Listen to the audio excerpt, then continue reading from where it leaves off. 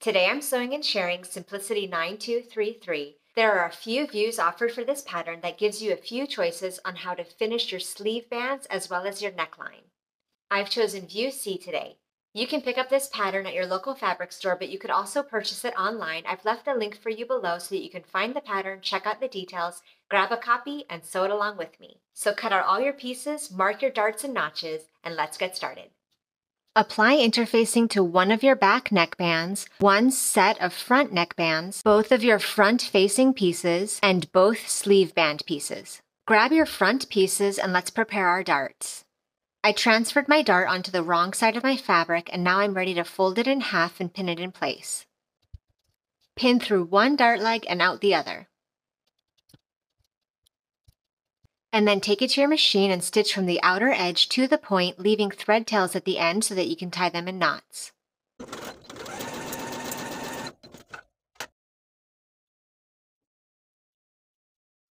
And repeat to complete the dart on your other front piece as well. And then we're going to take both front pieces back to our machine and sew gathering stitches at the topmost edge. Start your gathering stitches from the notch you transferred from your pattern piece all the way to the seam line, so 5 eighths away from the edge of your fabric. I'm going to use the longest stitch length on my machine and sew about a half an inch from the edge. And do this for both front pieces. Before I place my front pieces right sides together and sew the seam, I'm going to finish both of these seams separately from top to bottom using my serger. And then place both front pieces right sides together pin starting from the dot that you transferred from your pattern piece all the way down to the bottom. And then sew these pieces together starting from your dot all the way to the bottom and make sure to backstitch at this dot to reinforce. Now grab your two front facing sections and place them right sides together. And you should have transferred a dot from your pattern piece. We're going to pin from this dot to the bottom of the fabric. And then sew from your dot to the bottom of the fabric with a 5 8 inch seam allowance, remembering to backstitch at the dot to secure. Now I'm going to take this piece to my serger and serge the sides and lower edges. I've pressed this seam open just so I could catch these pieces in my serging, but this could also serve as my stitching guide for later. Now we're going to attach the facing to the center front. I'm going to open out that center front, and with right sides together, I'm going to place my facing on top, and then I'm going to pin the left side of the facing to the left center front from the top of the fabric to the dot. So now that I have that pinned, I'm going to take it to my machine and sew the 5 8 inch seam allowance from the front of my facing to the dot. And once I have that side sewn, I'm going to repeat the same steps to attach the rest of my facing on the other side. Sewing again from the top of the garment to the dot. Once you have both sides stitched, you can flip the facing to the inside. Give that center slit a good press and then pin through your center front on both sides to secure that facing in place. And then go to your machine and stitch 5 eighths of an inch away from both sides of your center front, including sewing a square formation around the bottom pointed end of your slit. So you'll sew in one continuous stretch, pivoting at the bottom of the slit 5 eighths of an inch away from the slit, pivoting again on the other side to sew all the way back up.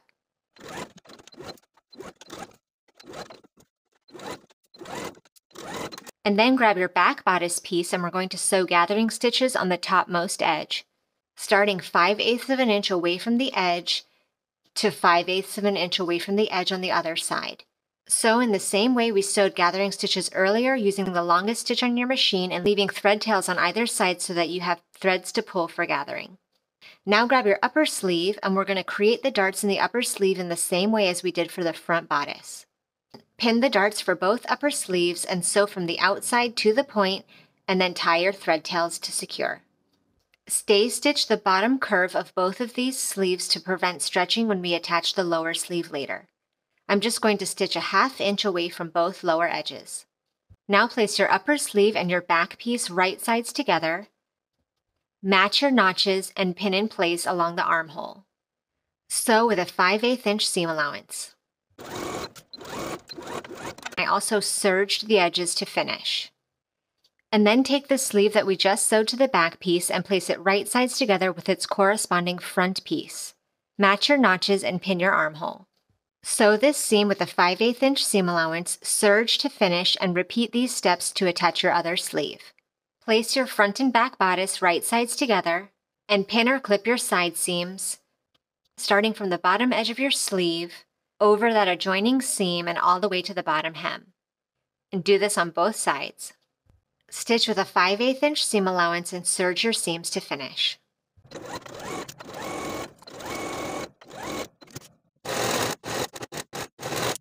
Now grab your lower sleeve and stay stitch the top curve of your lower sleeve in the same way as we did for the bottom of our upper sleeve. And then fold your sleeve right sides together and pin or clip the underarm seam. Sew with a 5 8 inch seam allowance and then serge and repeat these steps for your other lower sleeve. Now place your lower sleeve and your upper sleeve right sides together matching your notches and underarm seam and pin in place.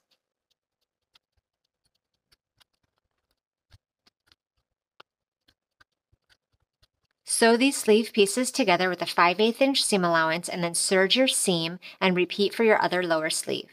I've gone ahead and pressed both of the lower unnotched edges of my sleeve bands to the inside by 5 eighths of an inch. Now place each of the sleeve bands right sides together and pin the short ends. Stitch both ends with a 5 8 inch seam allowance and press your seams open. Now place the notched edge of your band right sides together with the bottom of your sleeve. Match your notches and underarm seam and pin in place all the way around. Sew all the way around with a 5 8 inch seam allowance and do this for both of your sleeve bands.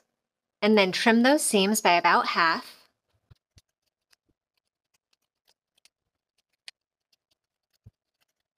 And then with this seam allowance pressed down toward the sleeve band, Take your folded pressed end of your sleeve band and fold it upward just over that stitching line.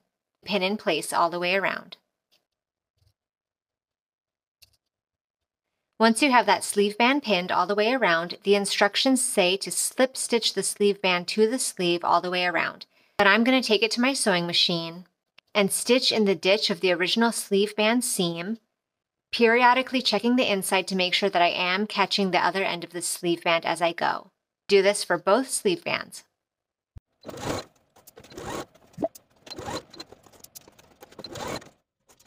Place your interfaced neckband pieces right sides together, matching your notches and pin in place.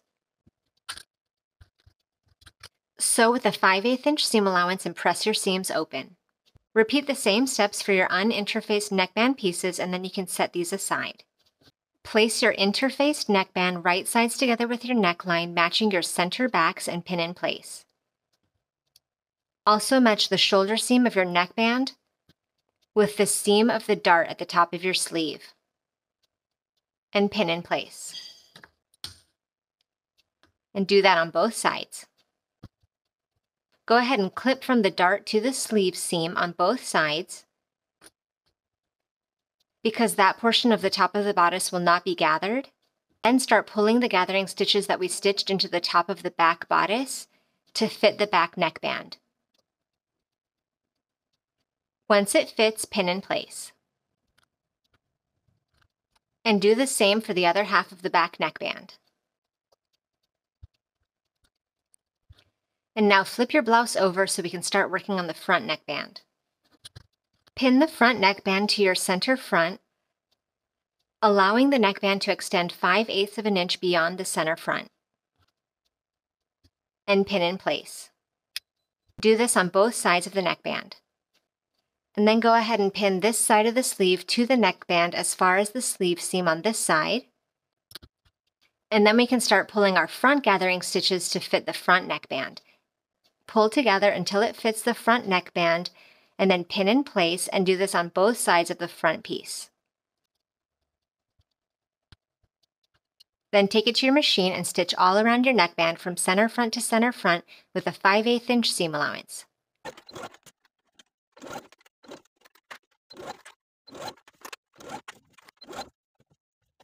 And then trim your seam and clip your curves. Fold your ties in half lengthwise right sides together and clip the long edges and one short edge. Sew your long edge and one short edge, leaving one edge open, and sew with a 3 8 inch seam allowance. Do this for both of your ties. And then clip the corners of the ends that you sewed, and turn your ties right side out. And then give your ties a really good press. I've gone ahead and basted both of the open ends of my ties. And now I'm going to match my tie with the short raw edge of my neckline facing so that the raw edges of the facing and the tie meet. And the seam of my tie is facing downward, just lining up my tie with the seam of my neckband and pin in place. And do the same with your other tie band. And baste both of these ties in place. Take your remaining neckband piece to your ironing board and press the outer notched edge to the inside by 5 eighths of an inch all the way around. And then place your uninterfaced neckband right sides together with your interfaced neckband, matching your center back, your seams, and your center fronts and pin in place.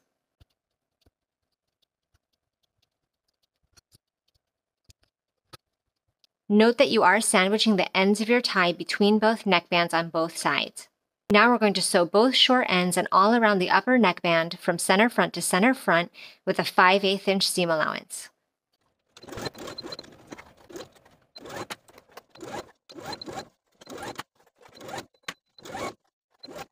Clip your corners and trim your seam all the way around.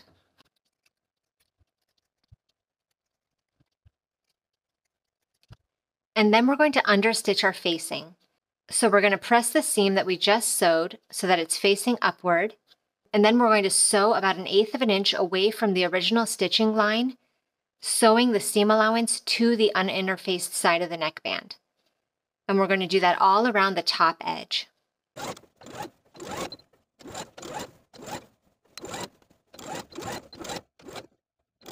Note that as you approach both of your corners, your presser foot won't be able to understitch all the way to the corner, so just understitch as far as you can.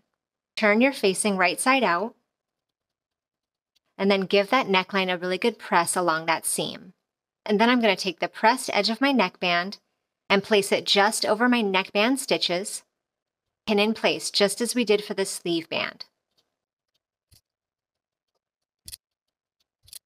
Then once you have that inner neckband pinned in place all the way around, take it to your machine and stitch in the ditch of your original seam line all the way from center front to center front, periodically checking underneath to make sure that you are catching this facing as you sew. The very last step is to hem the bottom of our blouse. I've gone ahead and pressed up my hem by a quarter of an inch, and then again by one inch, and now I'm going to edge stitch all around the bottom of the blouse close to this inner fold, and then you'll be done with your blouse.